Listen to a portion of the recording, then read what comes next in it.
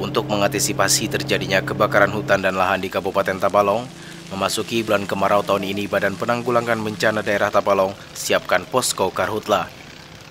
Satu posko induk ditempatkan di Tanjung Expo Center dan 12 posko lapangan ditempatkan di 12 kecamatan di Tabalong. Kepala BPBD Tabalong Alpian mengatakan posko karhutla akan dibangun pada 1 Agustus mendatang dan posko akan aktif hingga 30 September 2018. Bahkan jika kondisi Tabalong dianggap masih rentan terjadi bencana kebakaran hutan dan lahan, posko Karhutla akan diperpanjang menjadi tiga fase atau sampai dengan bulan November.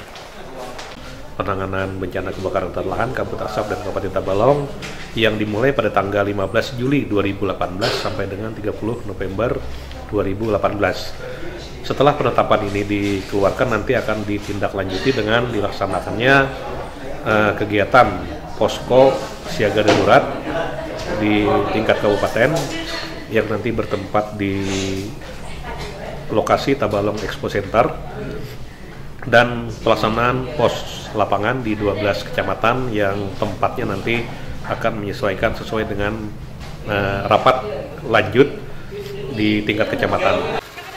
Untuk relawan posko sendiri, BPBD mengarahkan setidaknya 160 orang yang terdiri dari 40 orang di posko induk dan 120 orang dari posko lapangan. Norman Syah, TV Tabalong melaporkan.